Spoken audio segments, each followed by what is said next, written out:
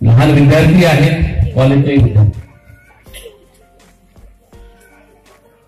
मित्रांनो मी माझ्या आयुष्यामध्ये म्हणजे चौपन्न टक्के ज्याला मिळाले त्याला डेप्टी कलेक्टर होताना पाहिले. ज्याचे वडील सालाने एकाकडे काम करत होते त्याला आय एस होताना पाहिले. आणि ज्याने मुक्त विद्यापीठात डिग्री केली त्याला पण मी अधिकारी होताना म्हणून अधिकारी होणे स्पर्धा परीक्षा पास होणे जे आता आधीच्या वक्त्यांनी सांगितलं की या आपल्या ज्या म्हणजे शाळेतल्या किंवा अभ्यासक्रमाच्या आपल्याला जे पर्सेंटेज मिळालेलं आहे त्याचा त्याचा काही संबंध नाही. आणि ही गोष्ट आपण कधीतरी विसरतो. मग म्हणूनच शाळेचा अभ्यास करायचा नाही का? असं नाही. आता काल परवाच एक माझे सिनियर आहेत. त्यांनी सांगितलं की स्पर्धा परीक्षा आपण जेव्हा मार्गदर्शन करतो म्हणजे आता आम्ही स्पर्धा परीक्षा मार्गदर्शन बऱ्याच दिवसापासून करत आहोत. आणि स्पर्धा परीक्षा मार्गदर्शन करत असताना मग सगळे स्पर्धा परीक्षेच्याच मागे लागतील. का? थोड्या वेळापूर्वी कामं साहेबांनी सांगितलं की स्पर्धा परीक्षा जरी पास झालं नाही तर एक माझ्याकडे अनालिसिस करण्याची एक माझी एक क्षमता निर्माण होती. थोड्या दिवसापूर्वी आमचे जिल्हाधिकारी महोदय सुद्धा म्हटले. ही स्पर्धा परीक्षा आपण जो शाळेत अभ्यास करतो आणि कॉलेजला अभ्यास करतो तो जरी एकदम अतिशय चांगल्या पद्धतीने केलेला असेल म्हणजे परीक्षार्थी म्हणून नाही तर अभ्यासार्थी म्हणून. म्हणजे अभ्यास जर तुम्ही समजून घेतलेला असेल आणि जर तो चांगला केलेला असेल तुमचे फंडामेंटल्स जे आहेत ते जर क्लिअर झालेले असतील जर तुम्हाला एमपीएससी किंवा युपीएससी किंवा बँकिंग किंवा कुठल्याही स्पर्धा परीक्षा असोत किंवा रिझनिंगच्या कुठल्याही परीक्षा असोत त्या पास व्हायला काहीही अडचण येत नाही. पण मात्र फक्त मार्क ओरिएंटेड जर तुम्ही शिक्षण घेतलेलं असेल तर स्पर्धा परीक्षांमध्ये तुम्ही यशस्वी व्हालच याची काही गॅरंटी नाही. आता स्पर्धा परीक्षा म्हटल्या या ठिकाणी असंख्य वेगवेगळ्या पद्धतीच्या स्पर्धा परीक्षा आहेत. मग तुम्ही महाराष्ट्र लोकसेवा आयोगाच्या असोत केंद्रीय लोकसेवा आयोगाच्या असोत किंवा बँकिंगच्या असोत क्लिरिकल एक्झाम असोत रेल्वेच्या आहेत असंख्य प्रकारच्या आहेत. आणि या प्रत्येकाचा एक वेगवेगळा पॅटर्न पण फक्त या ठिकाणी एवढंच मी सांगेन हा सगळा पॅटर्न जो आहे हा म्हणजे इकडच्या बसलेल्या मुलांसाठी आणि इकडच्या बसलेल्या मुलांसाठी हा वेगवेगळा आपण जोपर्यंत दहावीत असाल किंवा बारावीमध्ये जात असाल तोपर्यंत तुमचं ध्येय ठरलेलं नसतं. म्हणजे तुम्हाला काय व्हायचं आहे? त्यासाठी म्हणजे आज अं, तावडे साहेबांचा सत्कार केला ही अतिशय चांगली गोष्ट आहे. आपल्या रोल मॉडेल उभे राहिले पाहिजे.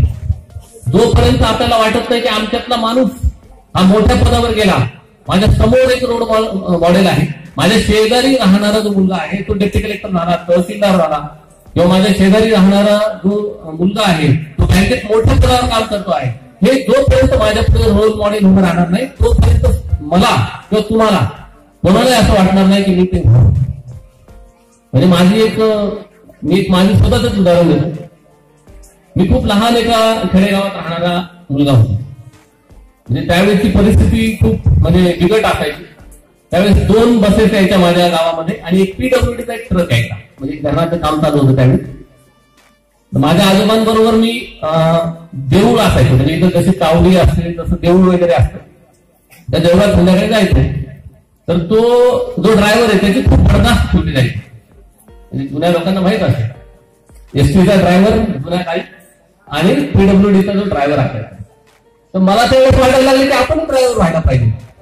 त्याचं एवढं चांगल्या पद्धतीने एकदम ड्रेस असतो. त्याला शूज घालायला. कारण आपल्या पायामध्ये चप्पल नव्हती तेव्हा. मग मला तेव्हा तसं वाटायला लागलं. मग नंतर मी शिकायला परत म्हणजे शहरात आलो. शहरात आल्यानंतर मग एका कॉलेजमध्ये आलो.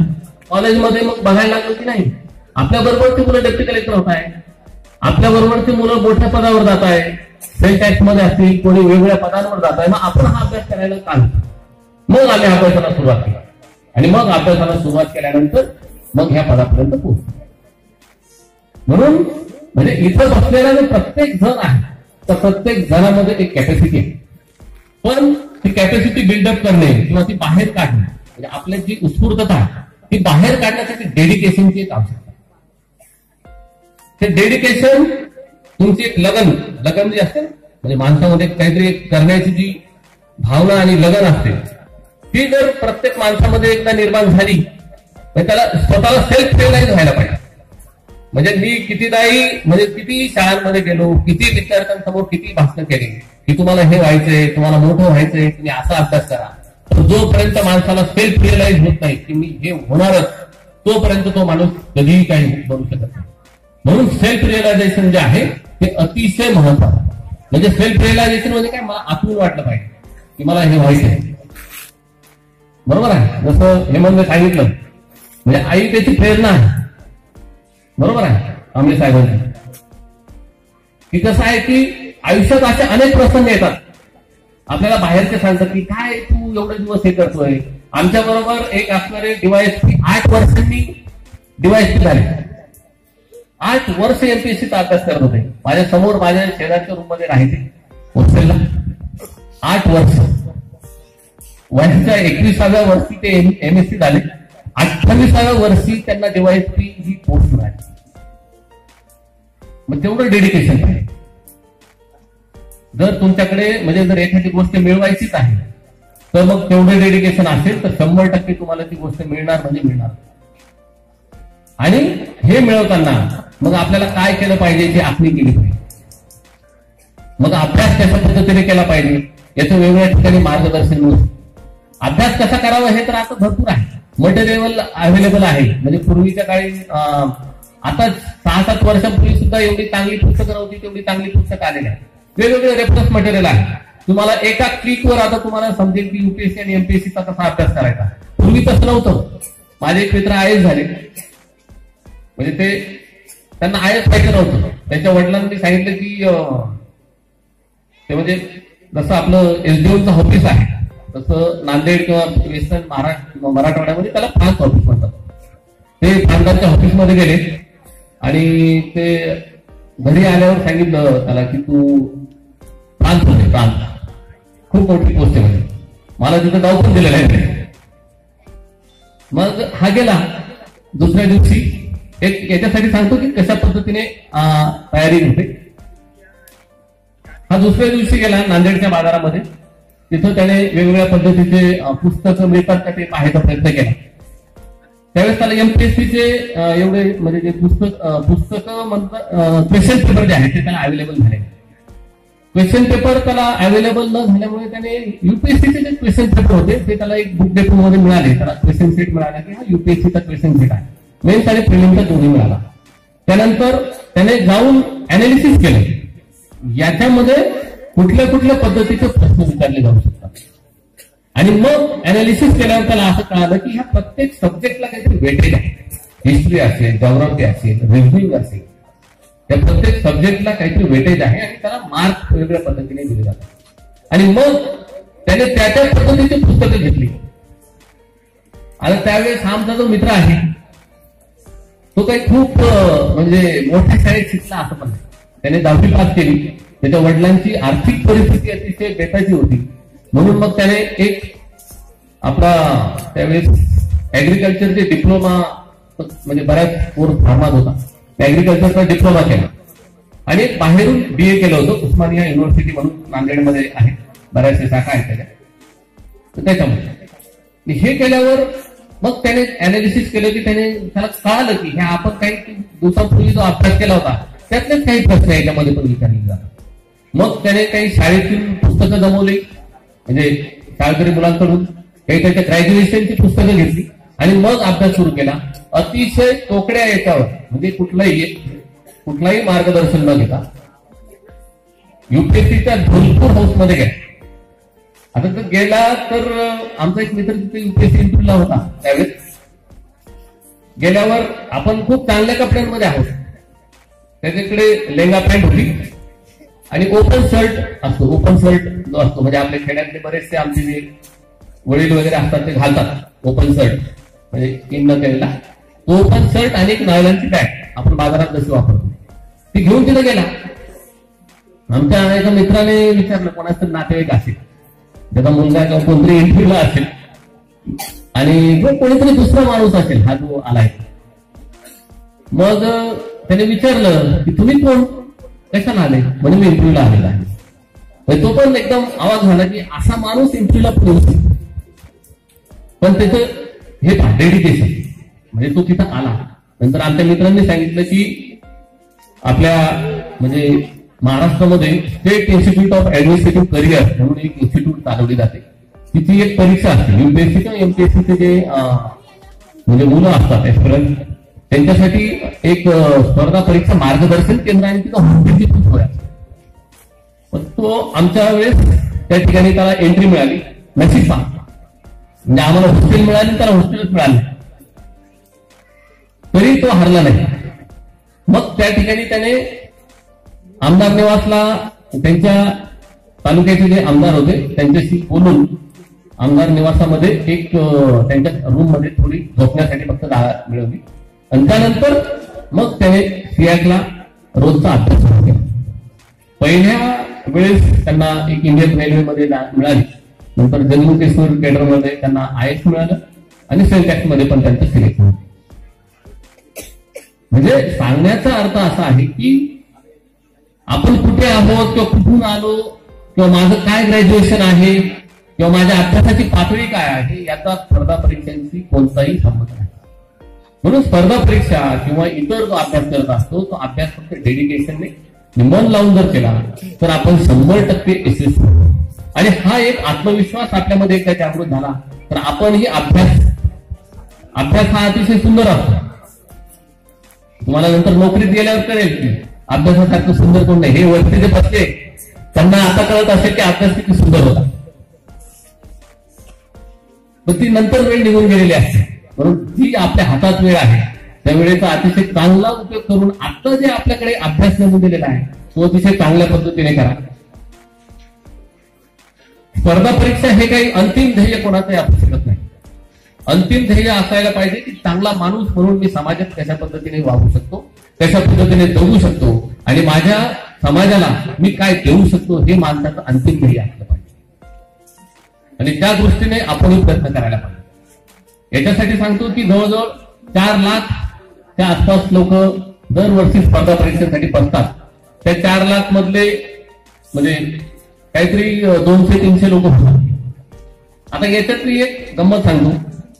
हे चार लाख जे असतात ते चार लाखात सगळ्याचे सगळे अभ्यास नाही करत. हे चार लाखांपैकी फॉर्म भरण्याचे जवळजवळ तीन लाख असतात. आता एक लाख उरले. ह्या एक लाखामध्ये जवळजवळ ऐंशी हजार जे मुलं असतात ते ऐंशी हजार मुलं कायम अभ्यास नाही करत. ते परीक्षेच्या फक्त एक महिना आधी अभ्यास करतात. म्हणतात की आम्ही एमपीएससीचा अभ्यास करतो. तो युपीएससीचा अभ्यास करतो तो बँकिंगचा अभ्यास करतो. आता उरलेले वीस हजार. तर उरलेल्या वीस हजारामध्ये आठ हजार असे असतात की जे कायम स्वरूपी दोन दोन तीन तीन वर्षापासून अभ्यास करतात.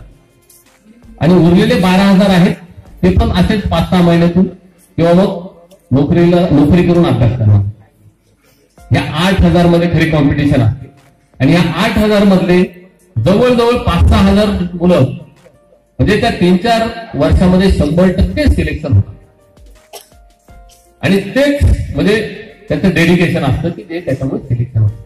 म्हणजे एवढी ही सुद्धा गोष्ट आपण लक्षात ठेवली पाहिजे. एमपीएससीचा अभ्यास किंवा युपीएससीचा किंवा बँकिंग किंवा इतर सगळ्या स्पर्धा परीक्षांचा अभ्यास जो आहे तो सेटच अशा पद्धतीने केलेला असतो की माणसाच्या याच्यामध्ये जरी तो स्पर्धा परीक्षा झाला नाही तरी एक आत्मविश्वास निर्माण होणे. आणि त्याच्या भविष्यामध्ये जे त्याला काही करायचं असेल त्या एंड पर्यंत पोहोचवण्यासाठी ह्या अभ्यासाचा शंभर टक्के त्याला उपयोग मग त्याची अनालिसिस करण्याची पॉवर असेल किंवा मग समाजाकडे बघण्याचा दृष्टिकोन असेल किंवा त्याला येणाऱ्या संकटांना सामोरं कसं जायचं हे सगळं जे असेल ते सगळं हा अभ्यास म्हणून स्पर्धा परीक्षांचा जो आहे तो अभ्यास आपण केलाच पाहिजे. त्या दृष्टीने आपल्याला भविष्यात जे काही योग्य वाटतं म्हणजे विशेषतः इथे जे नववी दहावी पर्यंतचे जे मुलं आहेत त्यांच्यासाठी मी सांगेन. आता तुम्ही काही डिसाईड करू नका. डिसाईड करणं हे जे आहे ते अकरावी बारावी नंतर खरं मुलांनी डिसाईड केलं पाहिजे की मला काय व्हायचं आहे आणि त्या दृष्टीने मग बारावी नंतर जे आहे ते आपण स्वतःमध्ये म्हणजे परिवर्तन करून आणि डेडिकेशन करून मग आपल्याला जिथं काही आपल्याला उत्स्फूर्त जे आहे ते करायचं आहे कोणाला डॉक्टर व्हायचं असेल कोणाला इंजिनियर व्हायचं असेल कोणाला स्पर्धा परीक्षांमध्ये जायचं असेल किंवा कोणाला अजून काय व्हायचं असेल कोणाला खूप चांगलं शिक्षक व्हायचं असेल ते सुद्धा होऊ शकतात. पण म्हणून अकरावी बारावी पर्यंत आपण जो आपल्याला जो नेमून दिलेला अभ्यास आहे तो अतिशय चांगल्या पद्धतीने गेला. तर मला तरी वाटतं की आपण अयशस्वी होऊ असं तरी दुसरे ग्रॅज्युएट विद्यार्थ्यांना माझी एक विनंती आहे. आपण बी ए किंवा एम ए किंवा कुठलाही ग्रॅज्युएशनचा कोर्स करत असतो त्या ग्रॅज्युएशनच्या करण्यामध्ये मी आता अनेक दिवसापासून बघतोय म्हणजे अनेक वर्षापासून. आपण ग्रॅज्युएशन जेव्हा करतो तेव्हा फक्त परीक्षा पूर्ण अभ्यास करतो. तो सब्जेक्ट आपण कधी समजून घेत नाही. म्हणून म्हणजे आपल्याकडे हुशार किंवा पोटेन्शियल कमी असणाऱ्या व्यक्तींचं प्रमाण कमी आहे असं नाही. आपल्याकडे मुळातच काही प्रमाणात आळस आपल्यामध्ये आहे. तो आळस झटकून जर आपण कामाला लागलो तर मला तरी वाटतं की आपण यशस्वी झाल्याशिवाय राहणार नाही. मग अशा स्पर्धा परीक्षेच्या मार्गदर्शनाची सुद्धा आपल्याला गरज पडणार नाही. या ठिकाणी मी सांगू इच्छितो. हे फक्त एक प्रेरक म्हणून आपल्या जीवनामध्ये ठेवा. पण आपलं जीवनाची जी आता आता बऱ्याच विद्यार्थ्यांनी म्हणजे अभ्यासाची मेथड किंवा हे सगळं विचारलं आपल्याला. प्रत्येकाची मेथड ही वेगवेगळी असू शकतो अभ्यास करण्याची. प्रत्येकाची बसण्याची स्टाईल वेगळी असू शकते. प्रत्येकाला वेळ ही प्रत्येकाची अभ्यासाची ही वेगवेगळी असू शकते. त्याचं बायोलॉजिकल जेवढं काही म्हणजे त्याचं वेळापत्रक जे आहे आपण सायन्स काही शिकत असतात बायोलॉजिकल वेळापत्रक हे प्रत्येक माणसाचं वेगवेगळं आहे. प्रत्येकाचं झोपण्याच्या जेवणाच्या ह्या प्रत्येकाच्या वेळा वेगवेगळ्या आहेत. आणि त्यानुसार आपण त्याच्यामध्ये चेंजेस केले पाहिजे प्रत्येकाची मेथड आपण स्वतः ठरवून आपण जर अभ्यास केला तर आपण निश्चितपणे यशस्वी व्हाल. या ठिकाणी मला आपण मार्गदर्शनासाठी बोलवलं. त्याबद्दल सर्वांचं